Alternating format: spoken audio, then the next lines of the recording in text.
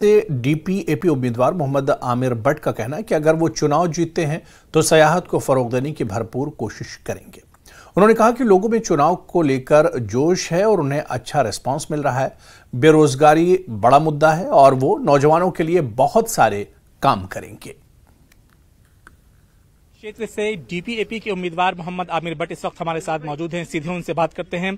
Sir, ये बताइए कि चुनाव प्रसार का आज आखिरी दिन है। आज का क्या शेड्यूल है? आज का शेड्यूल हमारा बहुत लंबा है। मैं शॉर्ट में आपको बोलूँगा कि हम टूलिप गार्डन से स्टार्ट करेंगे जो गुलाम नबी आज़ाद की देन है इस इलाके को। यहाँ से शुरू करेंगे बहुत लंबा एरिया है। गांधरबल में खत्म हो जाएगा around three four o'clock तो जब आप लोगों के बीच जा रहे हैं कैसा रिस्पॉन्स मिल रहा है? आपके सामने है।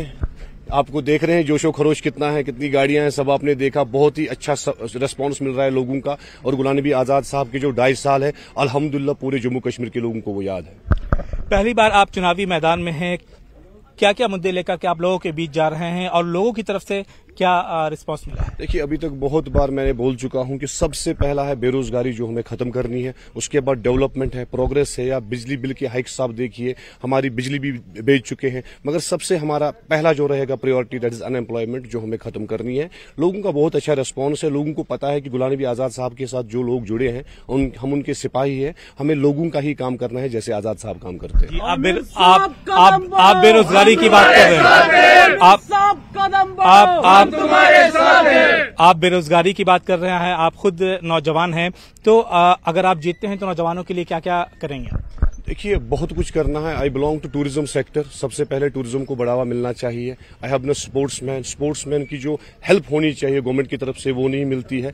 अनएम्प्लॉयमेंट में आपको सिंपल सी एक एग्जांपल दूँगा।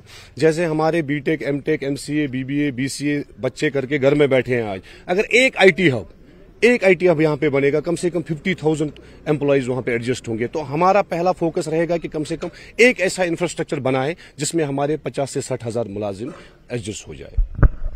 तो चुनावी तशहर का, चुनावी प्रचार प्रसार का आज आखिरी दिन है। आज शाम पाँच बजे चुनावी प्रचार जो है वो थम जाएगा। कैमरामैन शोएब के साथ मैं काजिर खान, न्यूज़ एटीन के लिए।